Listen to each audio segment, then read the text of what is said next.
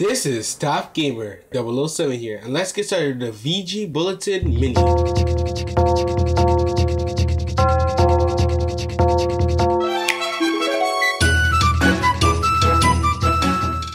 Dragon Quest fans, it's time to make an important update. Dragon Quest Builders 2 was announced for Japan.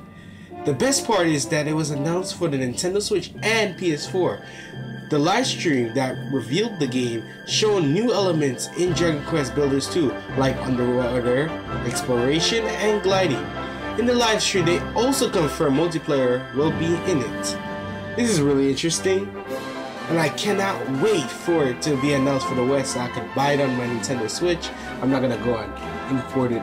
I don't understand Japanese text. If I if I would have imported, I would have imported Dragon Quest 11 as well. But I'm gonna wait patiently for it to be announced for the West and buy it when it comes. But that's my opinion. I would like your opinion in the comment section below. So yes, it's about time to end my video. If you like the video, give it a thumbs up and subscribe to videos like this one. This is Gamer 007 and I see you next one. Peace.